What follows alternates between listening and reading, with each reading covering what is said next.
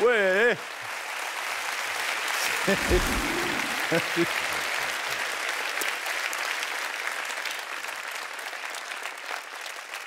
Io, eh, fratelli, mi ricordo ancora le conversazioni che si facevano dal barbiere.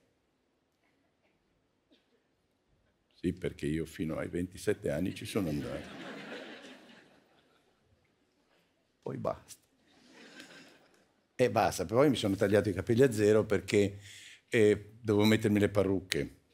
La mia non è alopecia areata, è staccanovismo.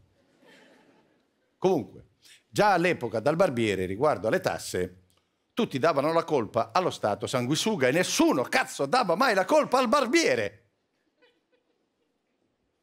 Overbacco. E tu direi, che cazzo c'entra il barbiere? Belin se c'entra, me lo fai vedere. Evasione fiscale per 700.000 euro da parte di un barbiere. Questo qui è, fresco fresco, eh? l'hanno stanato ieri a Catania. Con i soldi sottratti alle tasse si è comprato un appartamento, un deposito, un terreno, un SUV, tre utilitari e due moto.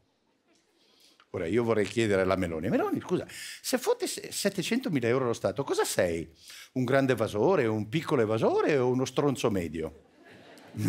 Comunque, io sono anche stufo di insistere su questo tema, io lo faccio da anni.